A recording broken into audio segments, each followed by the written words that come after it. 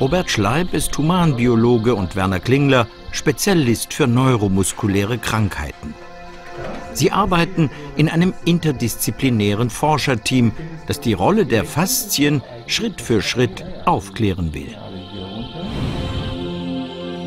Viel zu lange wurde das weißlich-faserige Geflecht aus Kollagen medizinisch vernachlässigt. Bei Operationen wurde es oft einfach weggeschnitten, um an die dahinterliegenden Stellen zu gelangen. Man hielt es schlicht für totes Stützmaterial. Was für eine Fehleinschätzung.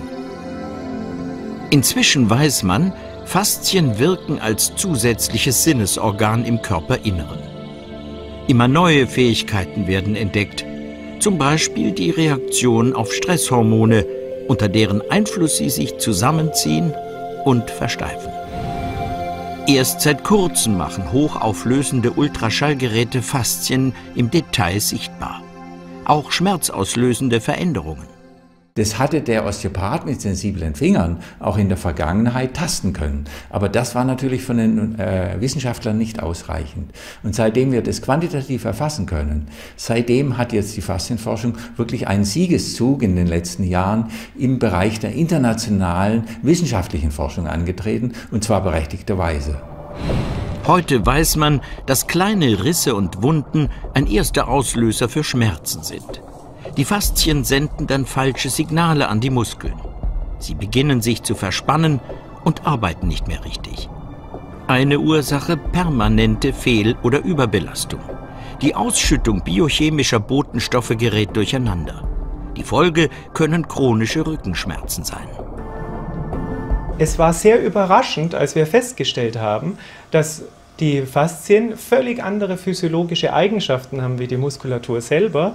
Ein Beispiel ist, dass die Faszien durchsetzt ist mit Schmerzrezeptoren, viel mehr als in Muskel zu finden ist. Und das spielt vermutlich für eine Vielzahl von Schmerzsyndromen eine viel größere Rolle, als man bisher angenommen hat. Deshalb arbeiten die Forscher daran, die Funktion der Faszien besser zu verstehen. Zum Beispiel, ob es noch andere Auslöser dafür gibt, dass die Nervenenden der Faszien Schmerzsignale aussenden. Eine andere Möglichkeit wäre, dass auch Entzündungszytokine dort sind. Zum Beispiel auch durch Bewegungsmangel. Also wenn dort Schichten miteinander verkleben und die alltägliche Bewegung nicht mehr stattfindet, dann kann es das ganze Stoffwechselmilieu dort verändern und auch das kann zur Reizung von diesen Schmerzrezeptoren führen. Dagegen kämpft Gerson Weiß zu Hause an. Drei Wochen Training hat er jetzt hinter sich. Diese Übung ist ja die, die ich am morgens und abends äh, mache.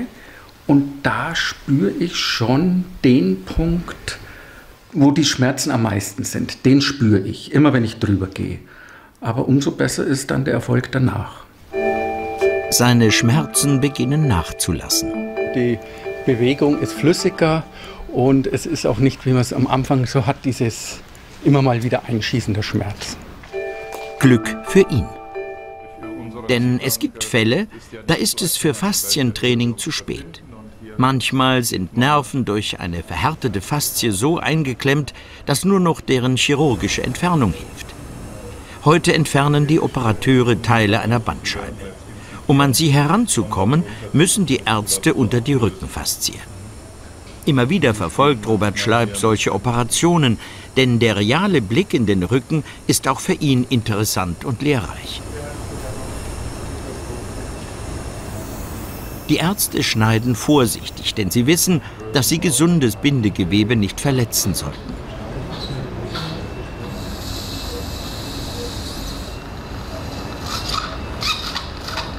Die Rückenfaszie scheint unverletzt und auch die Bandscheibenoperation gelingt.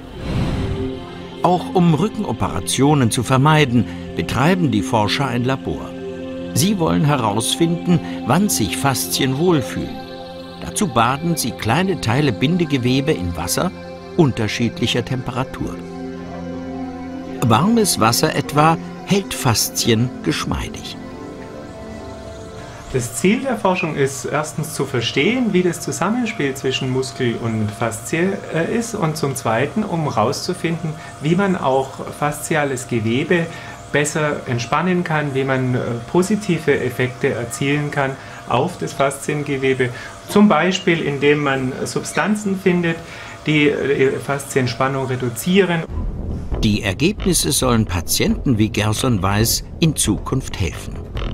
Wie ist es in den letzten sechs Wochen ergangen? Ja, es gab Phasen, da war es deutlich besser, aber es gab auch immer wieder Rückschläge. Eine falsche Bewegung und der Schmerz war fast unverändert wieder da. Was sieht Werner Klingler im Ultraschallgerät? Hat sich etwas verändert? Dann sieht man schön, wie die darunterliegende Rückenmuskulatur entlang der verschiedenen Faszien heute gleitet. Die Fasziendicke hat sich jetzt aus meinem Eindruck nicht verändert. Keine allzu große Überraschung, denn die Reduktion der Fasziendicke ist ein Prozess, der sich Monate hinziehen kann. Es ist auf jeden Fall für mich ein guter Weg, mit möglichst ohne Medikamente auszukommen.